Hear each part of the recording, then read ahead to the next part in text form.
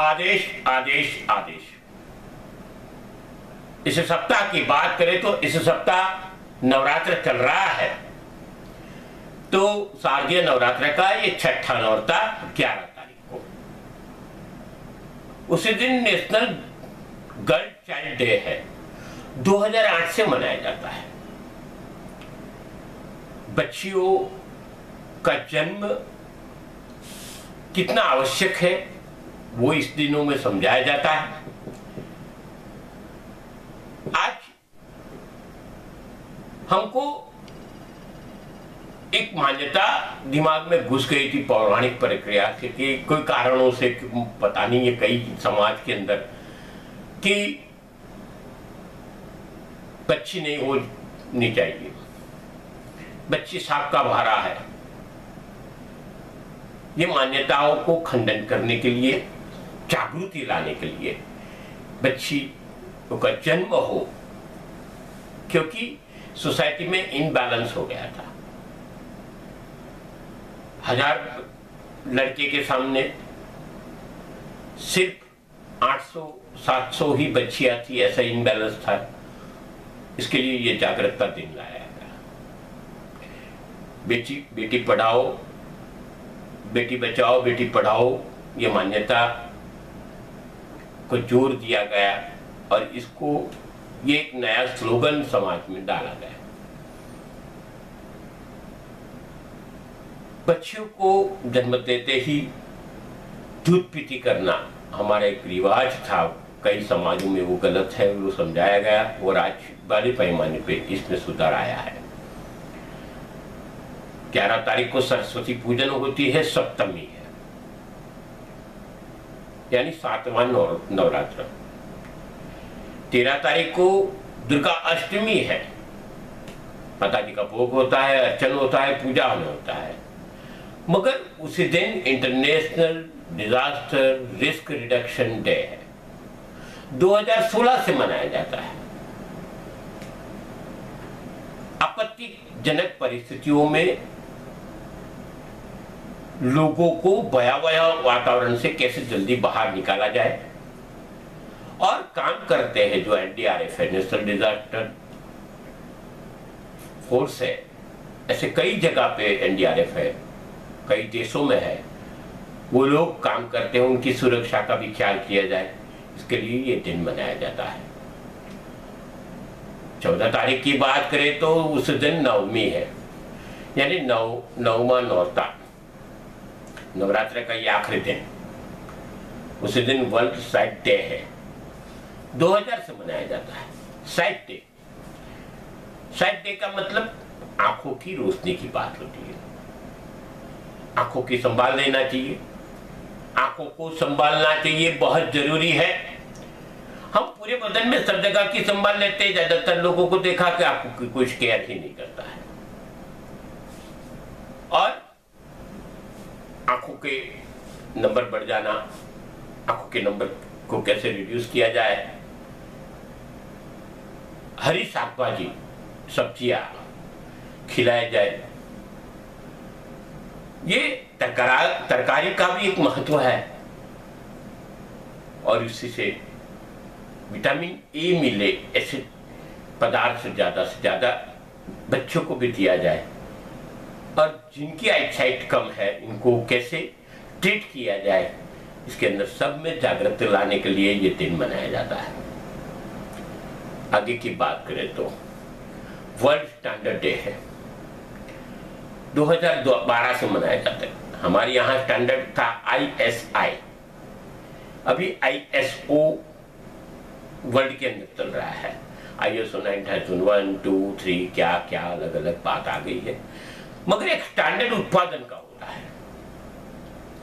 जिसको देख के खरीदने वाले को विश्वास होता है कि ये चीज़ खरीदने से हमारे जीवन में तकलीफ़ नहीं होगी।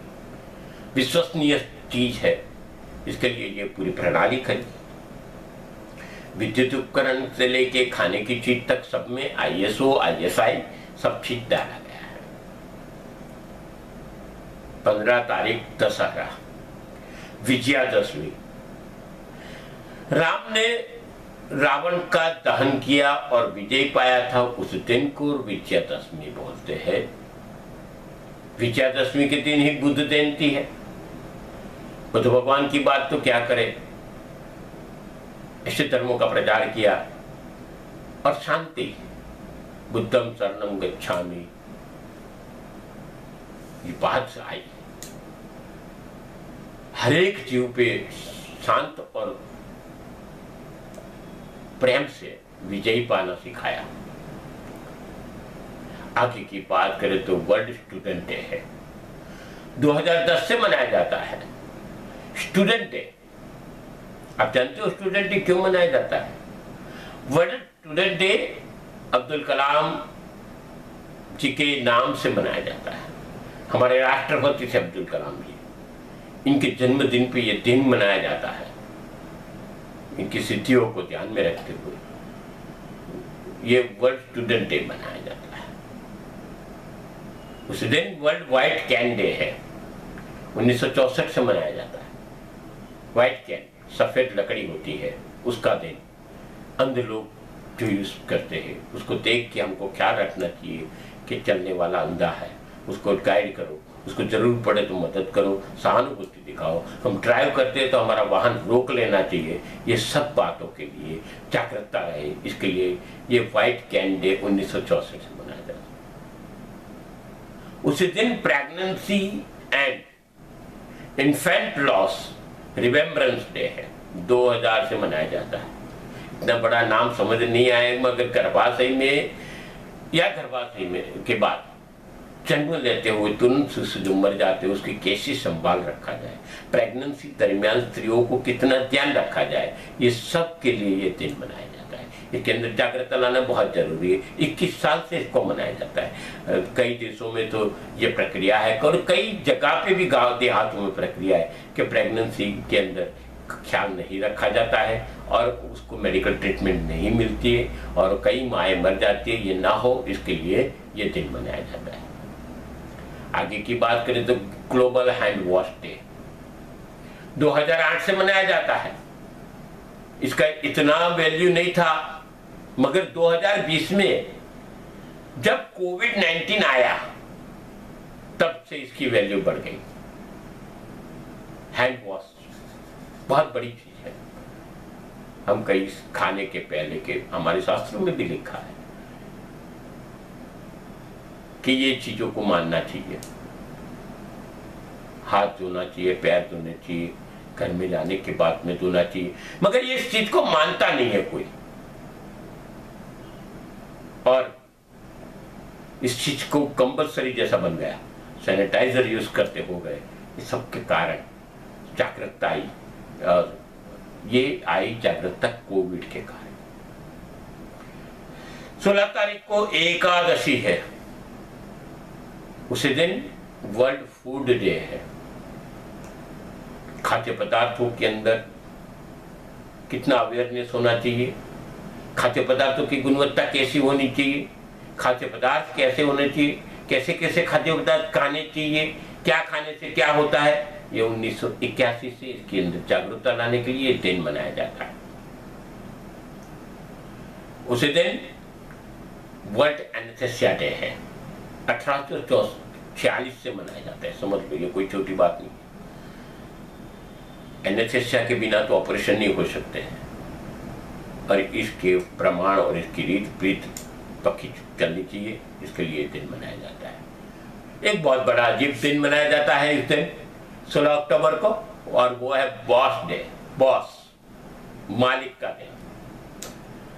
उन्नीस सौ अट्ठावन से मनाया जाता है। हमको नौकरी देते हैं रोजी रोटी देते हैं, हमको दया मान करते हैं। मालिक का इस दिन आभार मानने का दिन है। ये बहुत कम लोग को पता है, मगर ये दिन की महत्वता बहुत विश्व में आकी गई है। उसी दिन वर्ल्ड स्पाइन डे है। आज के जमाने में बैक पेन बहुत अहम हो गया है। करोड़ों लोग बैक पेन से कोई ना कोई तरीके से तकलीफ़ झेलते हैं और त्रस्त है। तो ये बैक पेन के बारे में जागरूकता है। हमारे करोड़ रज्जु के बारे में लोगों की जागरूकता है। इसके लिए ये जागरूकता लाने के लिए कैसे बैठना चाहिए, कैसे उठना चाहिए, ये सब सीखने के लिए ये दिन मनाया जाता है।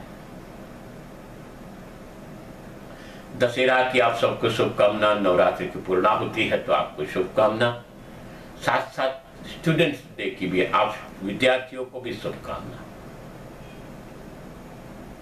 ये चैनल आप तक पहुंचाती है ऐसी ऐसी अनोखी बातें। तो इस चैनल को आप सब्सक्राइब करिए इसको लाइक करिए।